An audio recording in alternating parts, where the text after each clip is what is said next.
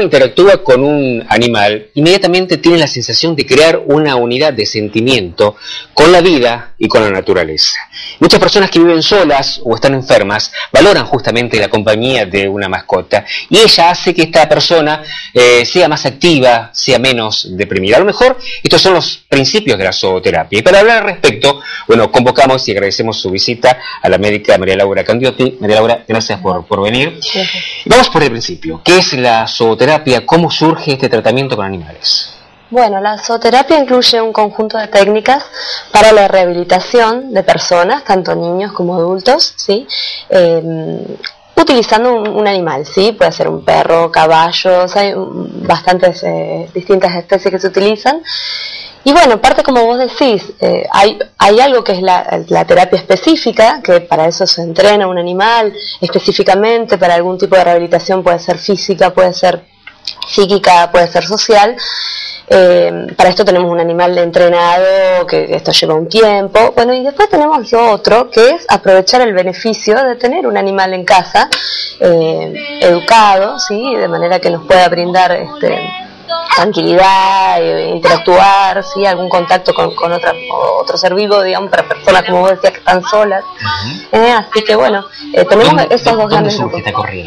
Y esto surge ya desde hace varios años en otras partes del mundo, en donde se ha desarrollado mucho, eh, en varios países, por ejemplo en Estados Unidos tenemos además de toda la red de zooterapia que hay, eh, hay tenemos los perros de servicio, por ejemplo, eh, gente que, que, tiene problemas de pánico o distintos tipos de trastornos que eh, tiene esta mascota y con la cual se mueve a todos lados y sin esa mascota quizá, que ya no es, es más que una mascota, digamos, no puede... este no puede moverse o hacer cosas. Hablaste de pánico, pero ¿para cuántas patologías pueden ser utilizados los uh, para muchísimas. ¿eh? Y no necesariamente una persona tiene que tener una patología determinada para servirse de los beneficios de un animal.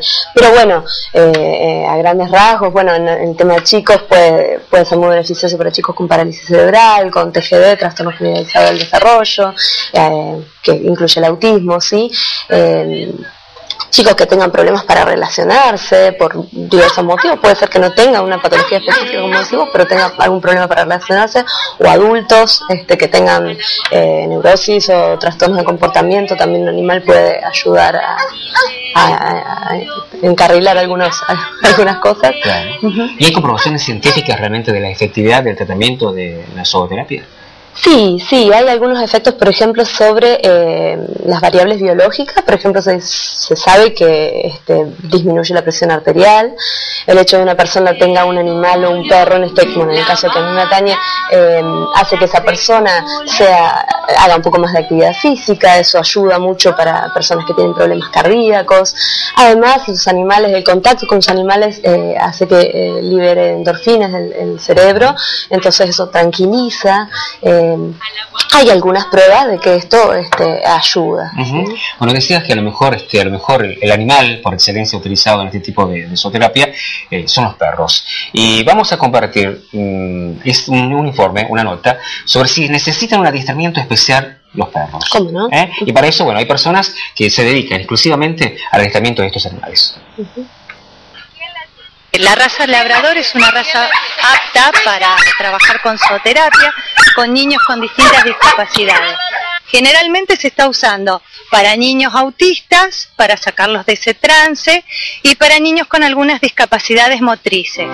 El adiestramiento que nosotros hacemos en, este momento es un adiestramiento muy simple. Eh, para, justamente para niños con discapacidades motrices enseñamos al perro a buscar un objeto, traerlo con sumo cuidado eh, para no lastimar al, al, niño, pero todo depende de la discapacidad que tenga la criaturita. Este entrenamiento, ¿cuánto tiempo le lleva al perro adquirir los conocimientos puntuales? Generalmente se trabaja con perros adultos, no es eh, una prueba a ver si están capacitados para soportar eh, algún trato brusco de algún niño. Las experiencias que ustedes han recogido y que pueden ver, eh, ¿son realmente satisfactorias en cuanto al paciente y la evolución? Sí, generalmente sí. Eh, sobre todo le, lo que hace es abrirle la mente al chico, sacarlo, tener contacto con la naturaleza, sacarlo de, de su encierro. Básicamente ahí empieza la recuperación del niño. ¿Cuántas veces por día es aconsejable que la criatura esté en contacto con el animal? Eh, generalmente hay instituciones que trabajan todos los días, hay jardines que, que usan los, los perros y los, los niños todos los días tienen contacto con, con perros y con otro tipo de animales, con conejitos, chanchitos, caballos. Este, eh, lo ideal es todos los días, pero, pero bueno, lo que los padres puedan manejar. Vos querías relacionar algo con el tema de la tenencia responsable con los animales, ¿no? Sí, eh, bueno, era ahora que viene el Día del Animal, tener en cuenta que si vamos a, comprar un perro, adoptar un perro o, o comprar un cachorrito, no es algo que se regale un niño, eh, tiene que estar toda la familia de acuerdo. Bueno, hay distintas pautas a seguir, si estamos capacitados para criarlos, si tenemos el tiempo para dedicarle, eh, el dinero para gastar en veterinario. Bueno, hay un montón de cosas a tener en cuenta eh, para una tenencia responsable del, del, perro. Sobre todo si salimos a la calle, llevar las bolsitas juntas. Eh, pero realmente cualquier perro bien entrenado podría cumplir esa función. Y si no es perro, ¿qué otro animal se puede aplicar la zooterapia? Bueno, hay muchos animales que, que se utilizan, eh, algo muy que, que, es muy útil y que es, está muy en boga ahora es el tema de la equinoterapia, eh, que también se usa mucho, pero realmente cualquier animal, sin llegar al grado de, como decíamos, de una, de una terapia específica para rehabilitación de algún tema específico, puede generar en la persona beneficios. ¿Cómo está Santa Fe justamente en el uso de esta terapia? Uh -huh. Bueno, en Santa Fe está muy, muy, poco desarrollado, digamos, lo que se hace en Santa Fe eh, a, a, partir de un grupo de gente de la Universidad de, de Esperanza, eh, es eh, trabajo en, en, escuelas o en geriátricos acompañados con el animal, actividades acompañadas por el animal, ¿eh? pero no específicamente una terapia, eh, digamos, para una rehabilitación de alguna patología específica. O... Así que es algo que recién acá se está iniciando. Se está iniciando, se está iniciando, sí, sí, sí. Bueno, que, eh, Ana Laura, gracias por, por tu visita.